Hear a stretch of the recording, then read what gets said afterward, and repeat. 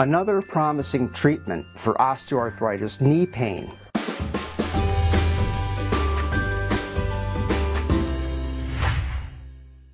Radiofrequency neurotomy, efficient in knee osteoarthritis. Reported in Health Day, this item.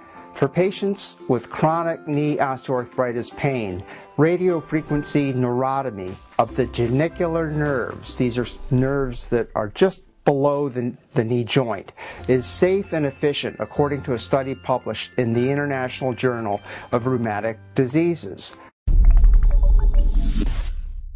Sinem Sari, MD, from Adnan Menderes University in Aydın, Turkey, and colleagues compared the efficacy of intra-articular injected into the joint injection of anesthetic and steroid and radiofrequency neurotomy of the genicular nerves in 73 patients with chronic knee osteoarthritis pain.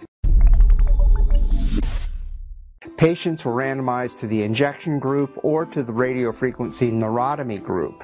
The researchers observed no statistically significant differences between the groups in terms of pain. This study demonstrated that genicular nerve radiofrequency neurotomy is a safe and efficient treatment modality and provides functional improvement along with analgesia in patients with chronic knee osteoarthritis, the author said.